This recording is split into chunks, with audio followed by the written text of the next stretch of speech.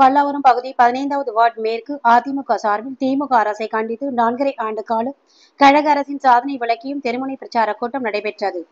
அதிமுக செங்கல்பட்டு மேற்கு மாவட்டம் பல்லாவரம் சட்டமன்ற தொகுதி பல்லாவரம் பகுதி பதினைந்தாவது வார்டு மேற்கு சார்பில் திமுக அரசை கண்டித்து நான்கரை ஆண்டு கால கழக அரசின் சாதனை விளக்கியும் தெருமுனை பிரச்சார கூட்டம் பல்லாவரம் பகுதி கழக செயலாளர் ஜெயபிரகாஷ் ஏற்பாட்டில் மாவட்ட பிரதிநிதி கௌதம் தலைமையில் பல்லாவரம் எம்ஜிஆர் சிலை அருகே நடைபெற்றது. இதில் சிறப்பு அழைப்பாளராக செங்கல்பட்டு மேற்கு மாவட்ட செயலாளர் சிட்லப்பாக்கம் ச ராஜேந்திரன் செங்கல்பட்டு மேற்கு மாவட்ட துணை செயலாளரும் முன்னாள் பல்லாவரம் சட்டமன்ற உறுப்பினருமான ப. தன்சிங் தலைமை கழக பேச்சாளர் பரசுராமன் ஆகியோர் பங்கேற்று சிறப்புரையாற்றினர்.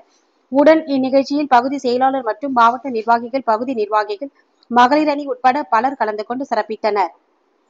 திமுக ஒன்றிய செயலாளர் நாம் தமிழர் கட்சியை சேர்ந்த பொறுப்பாளரை வெட்டி கொள்கிறார்.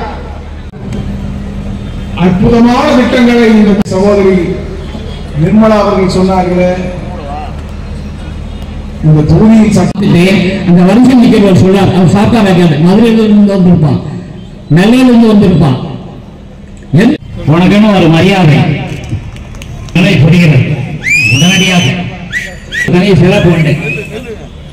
பல்லாவரம் பல்லாவரம் பகுத்தறிஞர் வளர்த்த ஒரு பெருமானியார் நம்மளை வழி நடத்துகிறார்